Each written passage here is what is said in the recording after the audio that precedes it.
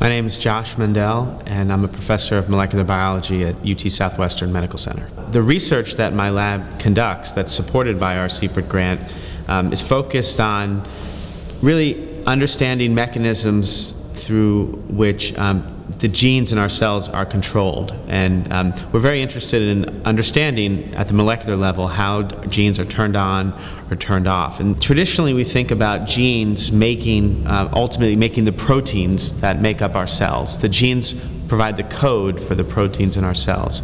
And um, what happens is genes are encoded in our DNA and they're copied into a molecule called RNA, which is an intermediate.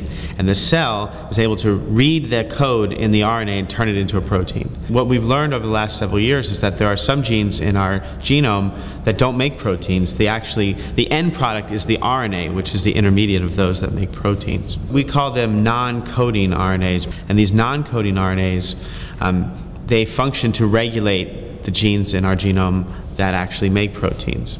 And so what we've learned is that in cancer cells, these non-coding RNAs are often um, abnormally expressed. In other words, their levels are abnormal, so they can be turned on too much or deleted from the genome when uh, cancer cells form.